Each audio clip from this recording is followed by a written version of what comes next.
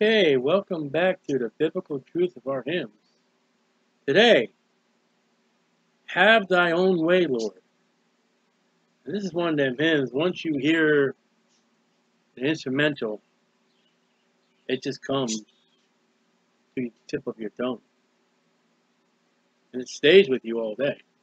I mean, after doing this, I mean, how long today? excuse me. You're going to be, have thine own way, Lord.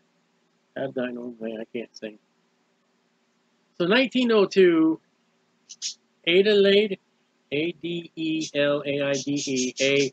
Pollard, was hoping to go to Africa as a missionary, but found herself unable to raise the needed funds to make the journey.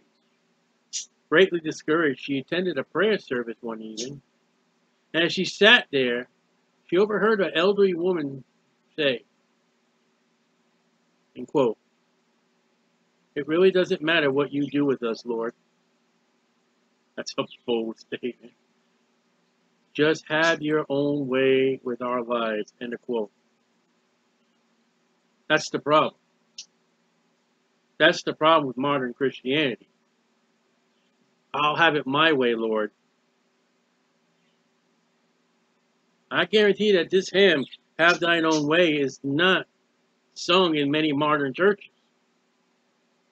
Maybe even modern, I don't mean uh, regular Baptist churches. Have Thy Own Way, Lord, defeats today's expression of me, myself, and I. So this elderly woman says, It doesn't matter what you do with us, Lord. Just have your own way with our lives.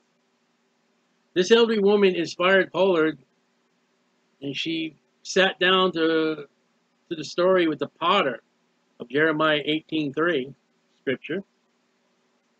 Upon returning home that evening, she wrote four stanzas. We got four here before returning for the night. Five years later, George Stebbins wrote the tune titled Adelaide, I hope I'm saying that proper, to accompany the text.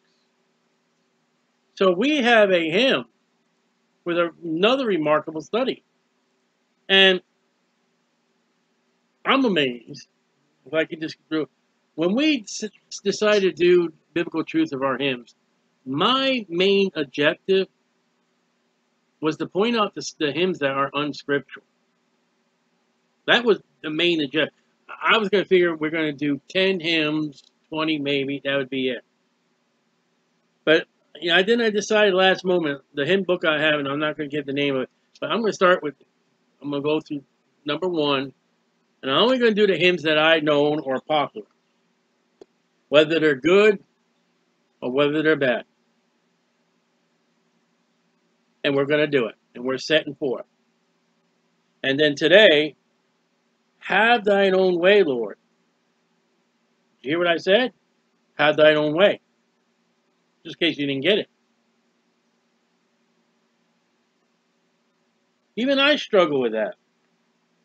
You realize what would happen? What I, I was going to say what could happen. No, what would happen if we Christians gave ourselves wholly to God? Without us interfering with God's work. What if we said, God, sincerely, have thine own way, Lord, have thine own way, and let him?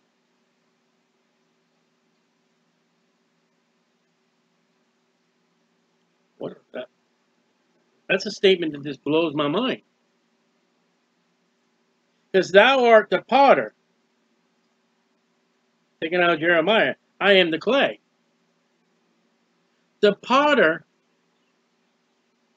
and, and, and Psalms talks about idols that can't see, can't smell, can't taste, can't talk, can't hear, can't move, can't touch. The potter is able to say this talk. The potter is able to smell the clay. The potter is able to see the clay. He can hear the machinery of the clay. He can touch and feel the clay. And the instrument that he's got on the wheels can't talk, can't see, can't smell, can't touch, can't hear. And it's the nation of Israel, but also for us Christians. And yet something that can't speak, don't we cry out to God? Don't do that. Ow. That's not what I want to be. Your hands are getting warm from friction. Get yourself some more water, will you? No, no, no, not like that.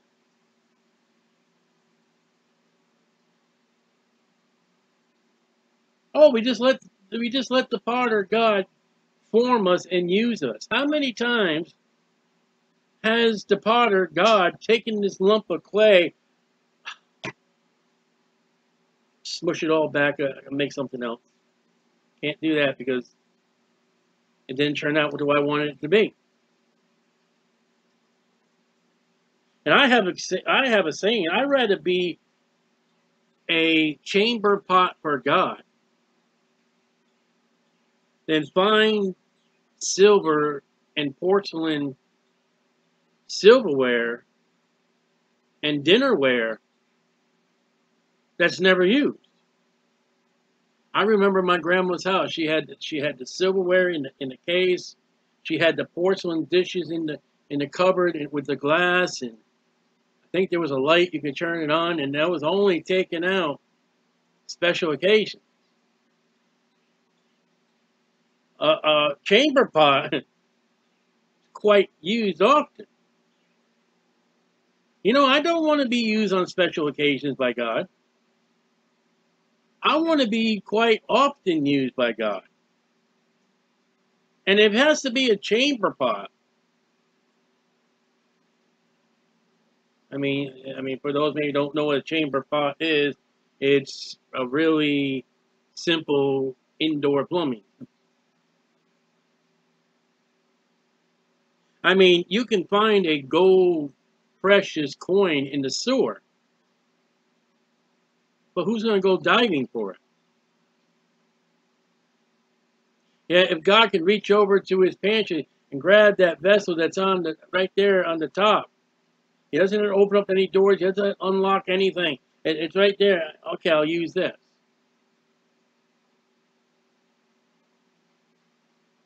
Mold me and make me after thy will.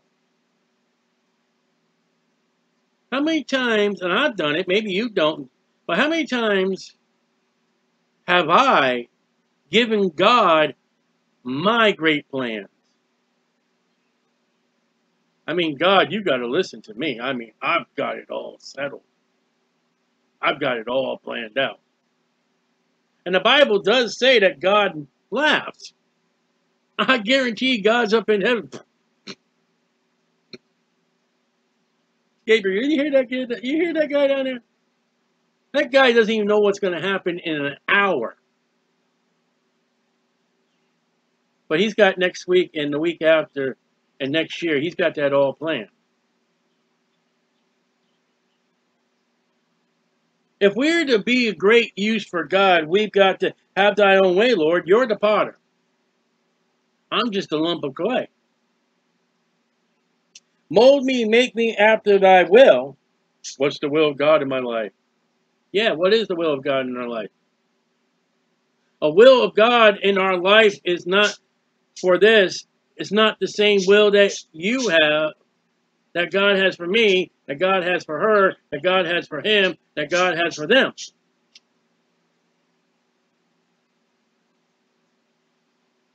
Not everybody has all the same things that everybody has.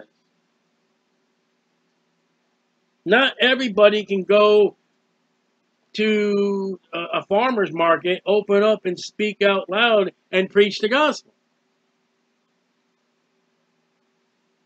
And not anybody can just walk up to a complete stranger and carry a conversation about God. Not anybody can sit in the doctor's office on the doctor's table and anything else. Yeah, let me talk to you about your soul. Not everybody has the time that God's given them to pray for everything and everyone. I mean, there's all kinds of clay. And there's all kinds of vessels that can be wrought. While I am waiting, that's patience. I'm going to admit to you, one of my faults is patience. When I get off to God and say, God, you know, what stands between you and me, and almost instantly is patience, along with my other sins. You got you you are impatient.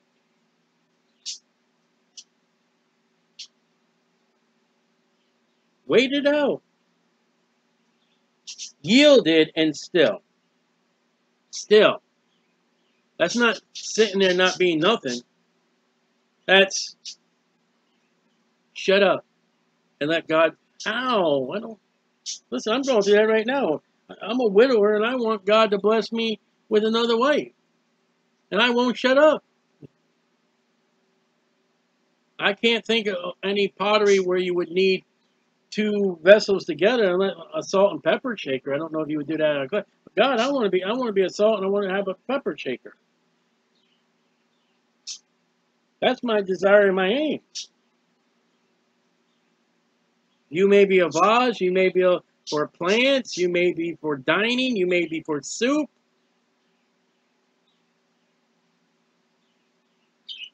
Have thine own way, Lord. Have thine own way. Search me and try me. Now, many will not do that. I do that. Examine me, God, and put me under the bright lights and see if there's any perfection. See if there's any trouble. See if there's any see if there's any cracks. Can I hold properly what you want me to hold? Am I going to leak? Am I going to break under pressure? Am I shallow enough for what you want to put in me? Master today. Oh, we got rid of all this servitude. We can't have masters and servitude. We got to remove that out of our dictionary words. We got we can't use and if God's not your master, then you will never be a disciple.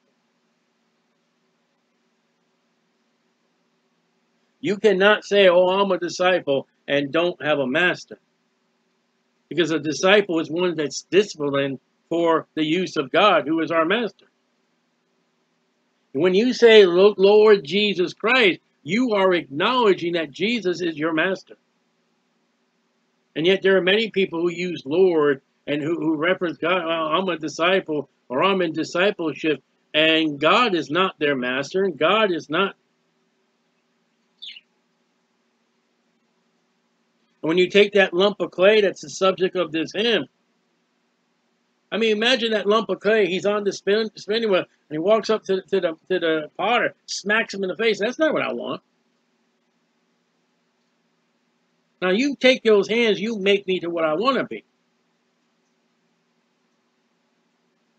You know, I want to make a church. I want all kinds of people. I want them to look at me. I want the fame and fortune of, of the pulpit. I want to be a national preacher. God's like, I just want you to just handle a few people. I don't want you to go in the world.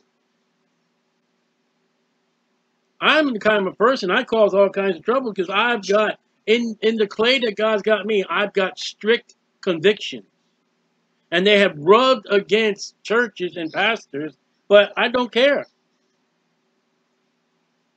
If the Bible says it's wrong, it's wrong. If the Bible says it's worldly, it's worldly. I'm not doing it. I've got enough clay in me. I don't need any other worldliness. This world is not my home. Whiter than snow.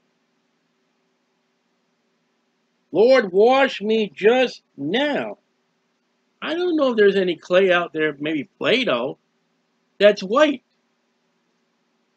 I don't remember any pottery is white unless it's been painted. And we're not talking about a, a, a pottery that's been painted.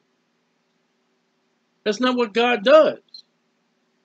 And to be made whiter than snow, God says, Come now, let us reason together. Though your sins be as scarlet, they shall be made as white as snow. If you confess your sins, He's faithful and just to forgive us and to cleanse us from all unrighteousness. The fact is, as a piece of pottery, a piece of clay, in or no, no, God don't put paint over you.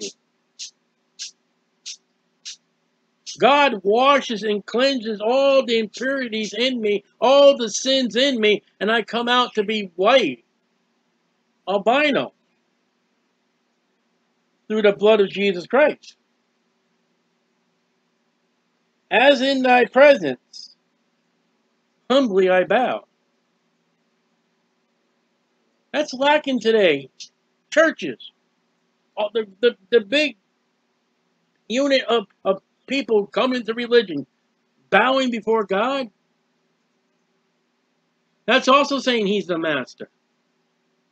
I've seen videos today with all this ruckus. They, they got black people. I don't know where they're, they're and I don't, I don't understand the complete movement, but they're having people come up to them and bowing down and kissing their feet, their shoes. Put a gun to my head. I ain't bowing down before no one. I ain't kissing nobody's foot. I'm not even worthy to bow down and, and do the latch of Jesus Christ, John the Baptist said. And yet Jesus Christ humbled himself and washed his disciples' feet as a example.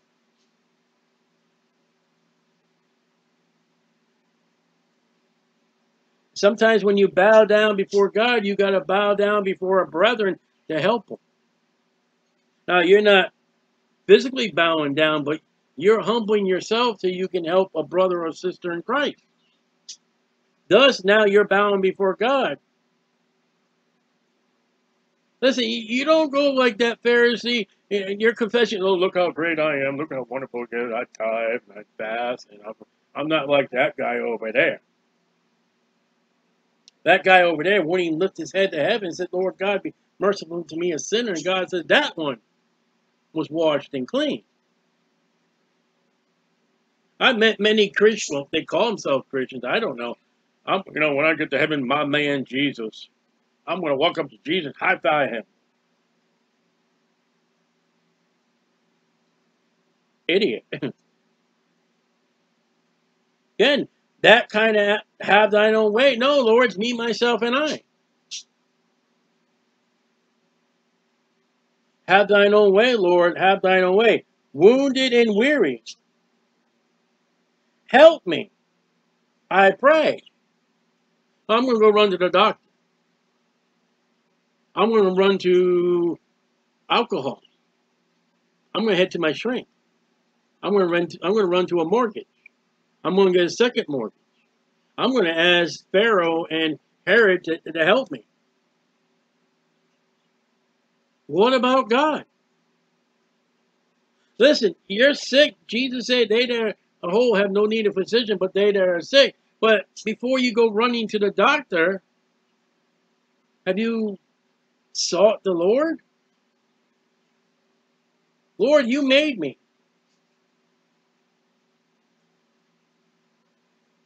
You got an ailment in your body? Who do you run to? Asa went to the doctors and God said, fine, they're not going to do nothing for you. That woman that had the bleeding of 12 years went to all the doctors and the doctors bled her dry of her purse. Then she came to Jesus.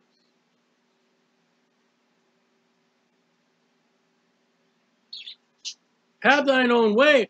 I'm going to come to the Lord. I'm going to leave the world behind. And listen, he may come to you and say, you got to go to the doctor. I'll, I'll bless you with a loan.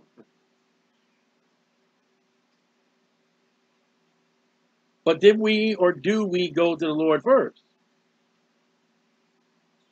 Imagine that lump of clay on the wheel walking off the wheel, and the potter's like, "Where are you going? I, I, I gotta go get some more clay for myself. I need help. I'm the one that made you. I'm the one that's working. Uh, you don't know what you're doing. And when we don't go to God and for help, we're telling God you're incapable. Listen, like I said, I, I'm looking for a wife. God says she has to be saved. So, and she has to be more than saved. I mean, she has to love the Lord. I'm trusting to the Lord. Now, I'm looking for outside advantages, but I'm looking to God. My finances, I'm looking to God. My health, I'm definitely looking for God because no, nothing else is going to help.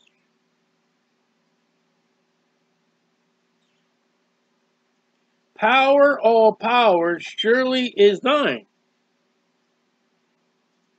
Idiot Christians go run to, you know, to these superheroes. And they run to these video games and you bounce on this level and, and you touch this, you get power and, and you, you, you know, you eat this thing and you get power and power in the movies and what about the power of God? You realize how powerful God is? You realize in the Bible it says Genesis chapter 1, and God said, Let there be light. Boom, there was light. Let the waters uh, be uh, division separated from, from the land, and it was so. Let the waters bring, God said, Let the waters bring uh, abundant life, and let, let there be falls line, and it was. You realize we have a God that spoke creation? And you can't even get the public schools to speak about creation in their classes. I am saved by the power of God, the power of God that God suffered and died. God died. There are gods in Greek and Roman mythology that could never and will not ever die. My God died. My God allowed the creation to beat the crap out of him. My God went into hell and deposited my sins, crossed that gulf that Abraham said no man can cross, released the captives of Abraham's bosom, and my God came out of that tomb three days and three nights, all according to the scriptures. Let's see the power of the Pope do that. Let's see your pastor do that. Let's see you do that. Friend, if I die, the Lord tarries. I'm staying in the grave, this body, until the Lord calls me. And, and, and if I die, and those who died in Christ, when the rapture happens, the power is he's going to, dead in Christ shall rise first. Well, what if what if what if I what if I was on a shipwreck and I became fish food? He'll get your body back together. I have an amputated toe from, from diabetes. God knows where that toe is. I don't. God does. There are women who have had their breasts removed because of cancer. God knows where it is. There have been people who in, in, in wartime, in battles, have lost body parts in battle. God knows where it is, and he'll call it all. That's power. That's power. Power beyond a video game. Touch me and heal me. Savior divine. I don't know if she had an ailment, but don't we all have ailments? Oh, I've got this ailment and God didn't heal me. He will. When we get to New Jerusalem, we'll all be healed. How's that? That's power.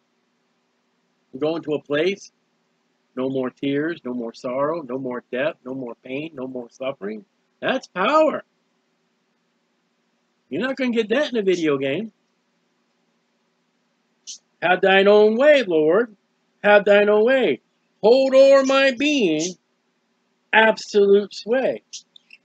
Hold me, God. You know what happens when the potter is working that pottery? He's holding. You're not going to fall on the floor. No one's going to come and steal that piece of. No, no, that's mine. I'm working it. Go get your own. And you're in the hands of the of the of the potter. Oh, you got that little twig in there. Let me get that out. Oop, this is a little bad. This is a little more needs a little work. Fill me with thy spirit. Now we have this Holy Spirit when we're saved, yes. But we need to be filled to that Holy Spirit as we go in life. There are many Christians out there, they got the Holy Spirit, but their gasoline tank has been so dry, they don't even have the fumes.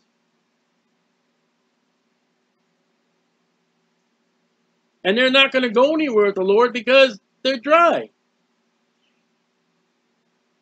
And then there there are some Christians out there, man, the Holy Spirit's so so filled in their tank, it's overflowing, and you walk by them like, whoa, man, you get you know you, you ever get there with gasoline, you, you're pumping your car and, and gas spills, and it's just for about a mile, two miles, oh man, that gas spilled. Shoo. Next time, will you be careful doing the gas? Those are people who really filled with the Spirit. It's just your whole life. There are Christians who don't get filled with the Spirit. They fill themselves with the world. And there is a spirit of the world. There's also a spirit of self. And when you've got any other spirit but the Holy Spirit, Holy Spirit just backs off and says, okay, you take control. You got to get your hands off the wheel and let the Lord take it. Filled with thy spirit till all shall see. Christ only, always living in me. Now look around.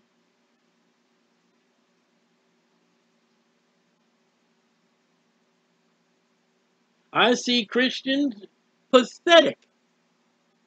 I wish you don't even say you're a Christian. I wish you shut up. Don't say a word.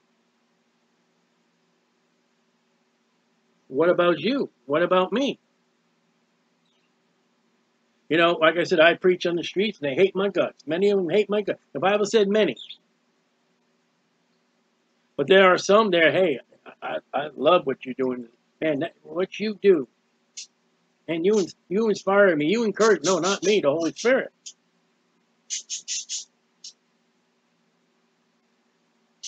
We've got to be filled with the Spirit. It doesn't happen automatically and you can be drained of the Holy Spirit. And you can replace the Holy Spirit with any other kind of spirit. And then you're just gonna you're gonna fold up and die. You're gonna be of no use.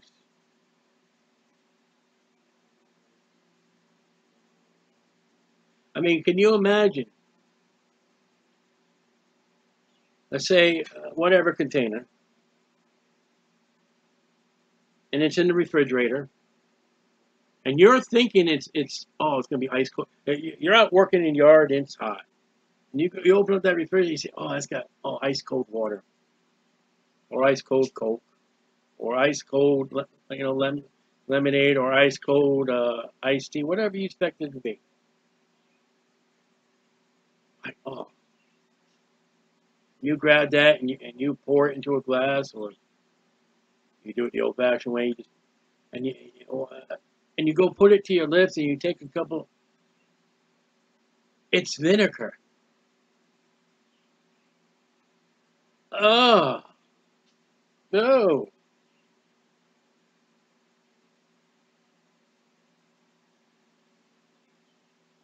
It's not what God wanted. Jesus said on the cross, I thirst, and they gave him vinegar. Christian. Christ may want from you water, new wine, and you may be giving him vinegar, and he doesn't taste it, and he doesn't drink it. And the Laodicean church age, oh, I want to be cold, or I want ice cold Coca Cola. cherry Coca-Cola with me. Or you know what? I want some good old hot chicken broth. When I lived up north, we we shoveled the snow and all that. My wife would have be done getting there done. I come in the house and she would have a cup of hot chicken broth. The cubes, are the best. Not the cans. And when you've been outside, not the, those little cubes. She would smash them up and she make me some hot chicken broth. Mm. Now I had I had taken chicken broth. My work I've had over here, my work, I'm going, I'm taking a cup and, oh, that's cold. Ah. I got to take it in the microwave. I've been in the car. I've gotten out of church, get in the car on my way home. Oh, there's a can of soda. All right. Oh, that's hot. Oh.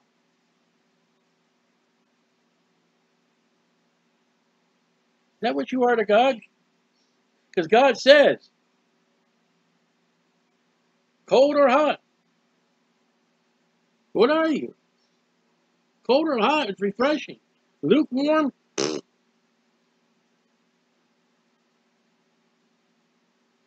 Have thine own way, Lord. Can you sing this hymn? Have thine own way, Lord. Can't even think of it. Can you just sing this hymn or can you say, Lord God, we're going to sing Have Thine Own Way in our church. Lord, not only am I going to sing it, Lord, I'm going to make it my prayer. Can you make this hymn your prayer? Can you look at the words of this, this hymn? And Lord, I just don't want to sing it. I want you to do it. Many won't do that because they know God may answer that prayer. Maybe that's why I'm going through some of the troubles and problems with my life right now. Because I've asked God to, to check me out. I've asked God to search me. I've asked God to mold me.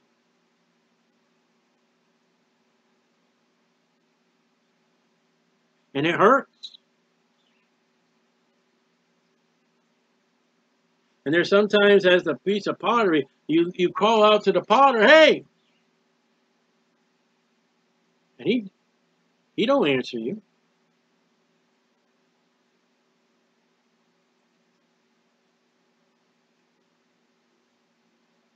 And the potter never asked the piece of pottery, clay, are you happy? Are you pleased? Does that feel good?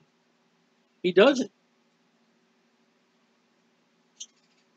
And yet Jesus said, Cast your cares upon him, for he careth for us.